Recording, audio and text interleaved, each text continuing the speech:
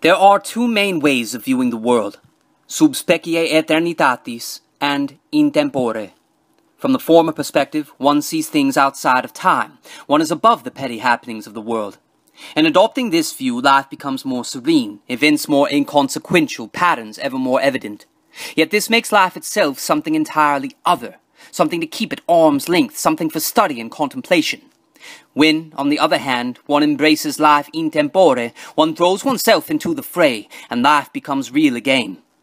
But then life is fragmented and disjointed. It can become meaningless and frivolous. Thus these two perspectives have their boons and their pitfalls. The academicians among us prefer the long view of history, if not the entirely ahistorical, while the politicians and socialites prefer to live in the world rather than apart from it. There are very few of us who internally synthesize these two very different perspectives. We see life as a confluence of the eternal and the temporal.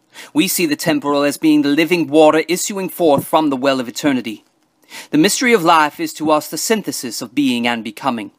All things are born of being. Being is born of non-being.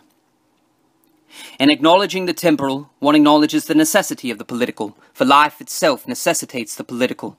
In acknowledging the eternal, however, one recognizes that the political realm is ever shifting and inconstant, and that reasons and promises are but smoke and mirrors in a vie for power.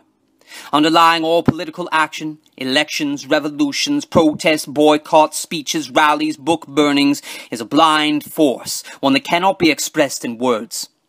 Our reasons are but epiphenomena of our actions, which are effected only by our prejudices and our individual natures, not by any sort of objective truth. The thought that liberals or conservatives or communists or fascists are right in some objective sense on this or that fleeting issue is downright laughable. Throughout history, in all climes and locations, a natural order has prevailed, though with certain remarkable aberrations such as our own day and age. With nature, reason counts for little or nothing.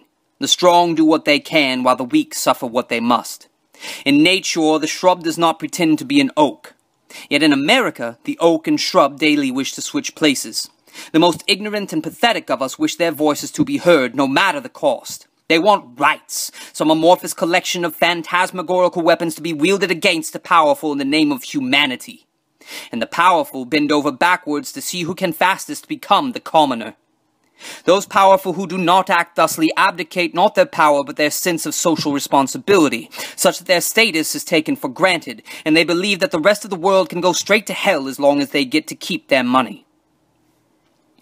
In attempting to name the nameless, I have named it Imperium. The word imperium is a Latin one translating variously as command, power, or dominion. This word seems to capture that blind drive behind all false reason and pretenses to justice. It also defies every holy truth of democratic liberalism. Inherent egalitarianism, irresponsible individualism, mindless consumerism, etc.